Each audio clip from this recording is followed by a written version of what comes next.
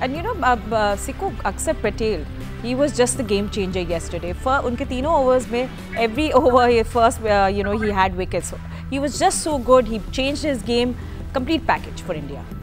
अभी आप लोगों ने क्रिकेट टीम की जो है ना उसने डिस्क्राइब कर दिया कि कौन कितना परफॉर्मेंस दे रहा है हमें ये भी तो देखना चाहिए कि इंडिया का जो कोच है ड्राविड कब से है वो काफ़ी टाइम साल से तो होगा या या। नहीं तो ये बहुत बड़ा फ़र्क होता है। हमारे यहाँ छः बदल गए हमारे यहाँ सेलेक्टर छः दफ़ा बदल चुके हैं हमारे यहाँ क्रिकेट बोर्ड छह दफ़ा बदल चुका है तो नहीं बदले ना सर। नहीं खिलाड़ी नहीं बदले मगर खिलाड़ी मज़े लेते हैं ना फिर। खिलाड़ी फिर एक जगह एक मिजाज के साथ नहीं रहते उन्हें ये पता होता है कि जो नया आएगा वो हमारे आगे आगे हाथ जोड़ेगा कि यार मैच जीत जाओ बस। भाई क्या यही था ना आप लोग शायद रमीज राजा का ज़िक्र कर रहे थे कि पहले वो बाबर को कुछ कहते थे उसके बाद उसके पीछे जाके छुप रहे थे। आप लोगों में से कोई कह रहा था?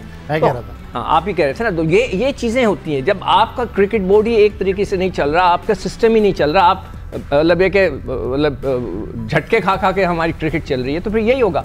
लड़कों को मतलब एहसास ही नहीं है कि वो पाकिस्तान के लिए खेल कह रहे कॉन्ट्रैक्ट नहीं मिलेगा तो ये होगा पैसे कम नहीं होंगे। अरे भाई शुक्र करें कि कोई अभी तक कोई सॉफ्ट बंदा है, मुझे नहीं पता कि मोहसिन नकवी कैसे बंदे हैं। अभी अगर मोहसिन नकवी साहब बैठ के जो अजहर महमूद और उनके साथ मीटिंग करेंगे तो मैं कहूँगा उनको तो उनकी शक्लें नहीं देखनी चाहिए, गुस्से के मारे, कि यार I don't want to see you जाकर आप सलमान नसीर से बात करें और फैसले करें कुछ।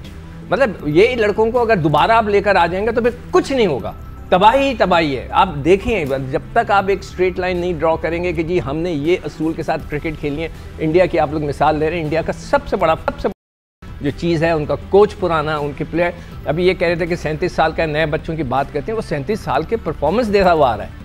तो उसका भी ये आखिरी वर्ल्ड कप है। सब कह रहे हैं कि उसका भी है कोहली जो है 26 तक नहीं रह हाँ। सकेगा उसका भी आखिरी है और हो सकता है बुमराह का भी आखिरी हो। कई लड़कों का उनका 30 पाँच लड़के शायद ओवर 30 हैं उनके।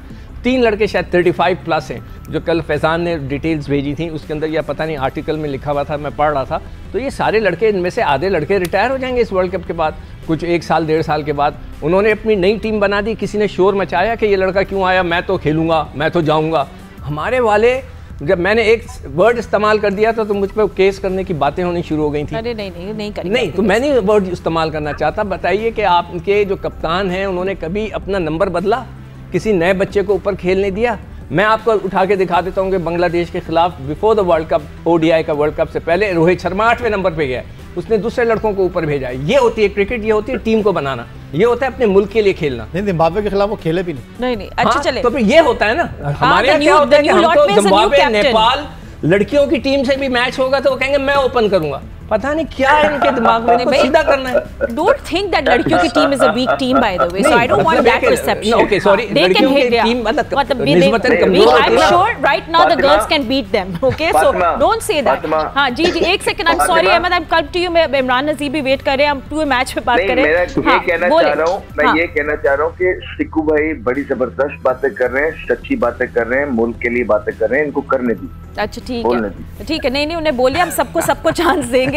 बट इमरान वापस हम मैच पे आते थे और इंग्लैंड की बात करेंगे डिफेंडिंग नहीं, चैंपियंस इमरान यू से नो पूछे कितना टाइम लगा इनको ये हेयर स्टाइल बनाने में शौक वो फुल स्क्रीन पे दिखाई नहीं रहे तो हम कैसे उनकी तारीफ़ है करें भाई ये ले, क्रिकेट पे बाद में ये ले हेयर स्टाइल मेरा इतना को टाइम लगा मैंने यूँ किया और हेयर स्टाइल बन गया और मैं मैं यूँ बैठ गया बस इतना ही टाइम लगा और इमरान भाई मैं मुझे लग- लगता है इमरान मुझे लगता है लग रहा है- ग्रूमिंग हुई है। नहीं ऐसे लग रहा है बालों में बम बजे है हो।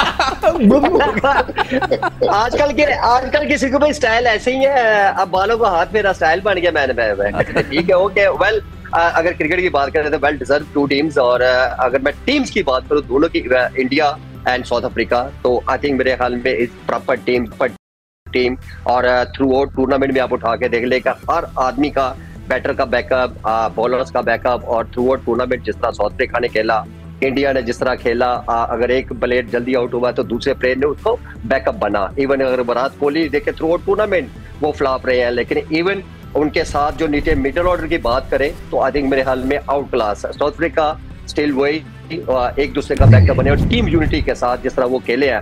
आई थिंक मेरे हाल में वेल डिजर्व और इन्हीं पिचों के ऊपर सारी टीमें खेली हैं। लेकिन आई थिंक मेरे हाल में जो बेस्ट क्रिकेट खेली है तो two teams South Africa and India and आज देखे वो आपके सामने दोनों ही टीमें फाइनल खेल रही हैं। तो आई थिंक मेरे ख्याल में आप बड़े प्लेयर बड़े प्रोफेशनल हमेशा वही होते हैं जो हर सिचुएशन में खेलना हो हर सिचुएशन को अच्छा हैंडल करते हैं।